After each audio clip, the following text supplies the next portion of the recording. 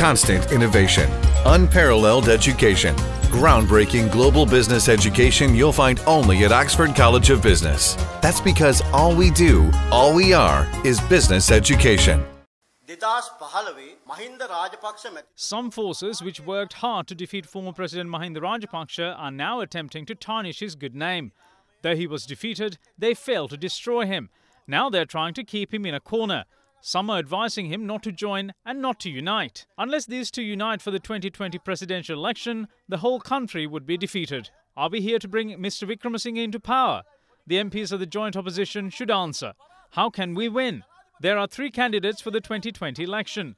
SLFP votes are divided into two. Leftist parties are divided into two. Then Mr. Wickremesinghe wins. In 2005, Mr. Rajapaksa won the election with a small margin of 150,000 votes.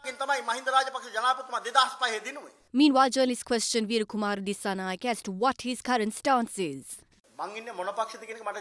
My party isn't important. What is important is a party's vision and its journey. I was in the JVP and left, later joined the Jathika Nidahas Peramuna. If my mission is over, then that is it. No, I have not made a decision yet. It will be decided later.